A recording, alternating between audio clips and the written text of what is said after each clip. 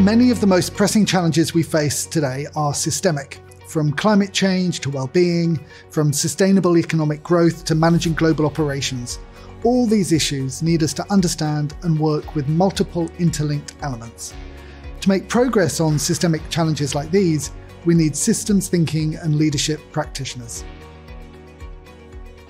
A systems thinking and leadership practitioner is somebody that has got uh, a deep knowledge and understanding, but importantly, skill in the practice of systems thinking, systems ideas, but in concert with development around leadership to make a rounded practitioner able to deal with so many of those challenges that we're all faced with today.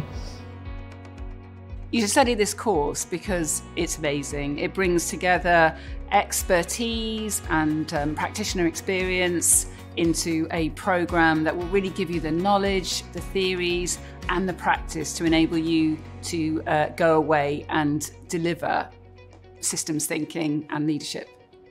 In terms of your career development, the systems approach is, is just growing and growing uh, in the public, private, and in the third sector.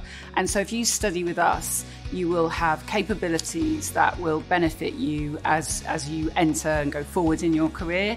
And as well, it's practice based, so it's really going to support your organisation to achieve what your organisation wants to achieve. Systems thinking and leadership is not a product, it's a practice we develop. By applying the principles of systems thinking, we increase our chances of making a meaningful and effective difference to people and places, in our organisations, and ultimately to the planet. Whether you are in the public, private, or voluntary sector, join us today to learn from our experts and practitioners, developing the knowledge, skills, and practice that will make real change.